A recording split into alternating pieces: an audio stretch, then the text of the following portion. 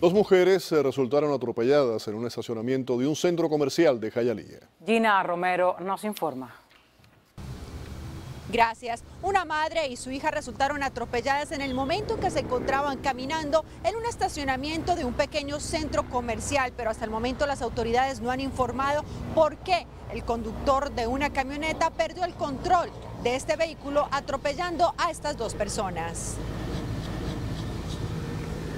Esta es la camioneta que atropelló a dos mujeres en un estacionamiento de Jayalía. Testigos aseguran que existió otro conductor involucrado en el accidente, pero las autoridades no lo han confirmado. Damaris Sánchez, que trabaja en un almacén, declaró que solo sintió un fuerte ruido y al salir se dio cuenta que una camioneta había atropellado a las dos personas y que su vehículo, que se encontraba estacionado, presentaba varios daños. La señora que iba manejando es una señora bastante mayor eh, parece ser que se descontroló, no sé, ella dice que fue que se mareó, otros dicen que hay otro carro involucrado, el cual se dio a la fuga, que es una camioneta blanca. Realmente esto lo está investigando la policía para ver qué desierto está, eh, está pasando, qué es lo que va a pasar.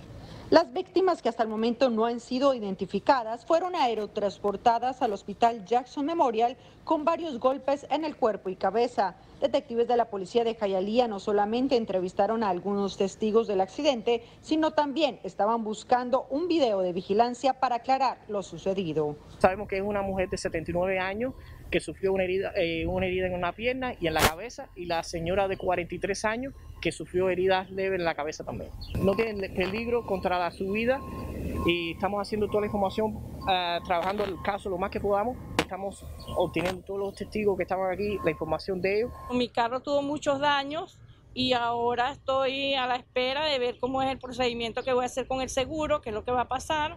El accidente se reportó esta mañana en el estacionamiento del centro comercial localizado en el 901 y la 10 Avenida del Este en Jayalía. Hasta el momento se desconoce el por qué la conductora de la pickup azul perdió el control de la camioneta.